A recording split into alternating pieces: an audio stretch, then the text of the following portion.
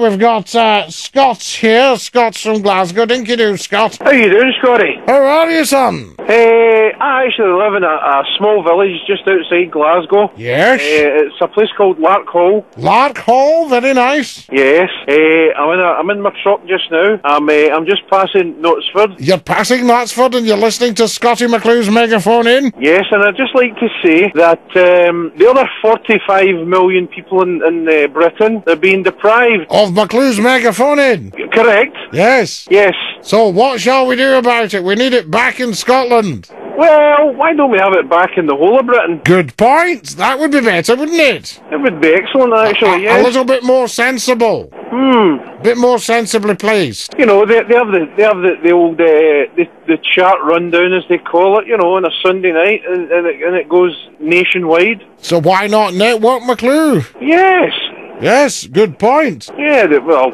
I mean, we don't get you up there anymore, so um, I just think we're missing out. Uh, well, I don't think he's in a job anymore. No, I don't think he is. No, I think he's uh, slightly out of one. uh, P P forty five. You think? P45 time.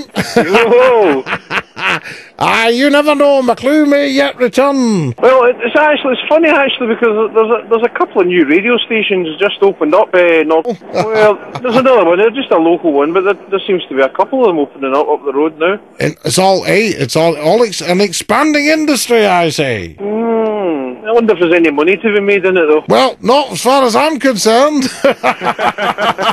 but there's a lot of fun. I don't know. I fancied your bank balance rather than mine at the moment. Uh, I don't think you would if I showed you. I think you'd realise just how well off you are. yeah, well, tr- the old truck, you know, it's a fair old game nowadays. it's a great game, the trucking. If you want to make a few quid, be a truck driver. That's what I say. Oh yes, yes, yes, yes, yes. Yes, yes, yes, yes, yes, yes, yes. Anyway, and, and, uh, uh, where are you, are, are you going back up to the north? Uh, no, I'm, I've, uh, I've another little bit to go yet. A wee bit to go. Well, all the best to you and lovely to talk to you. Yes, I'll probably phone you again. I think. And watch this space, eh? Yes, yes. Anyway, listen, could I just say to Dave, I'll be there in about 20 minutes. Dave, you'll be there in about 20 minutes. That's- Scotty. See you, buddy. Ta-da. Watch Bye out now. for the smokies. All right, then. Ta-da now. Ta-da. That's not the are both smokies. Right, Robertson Blackpool.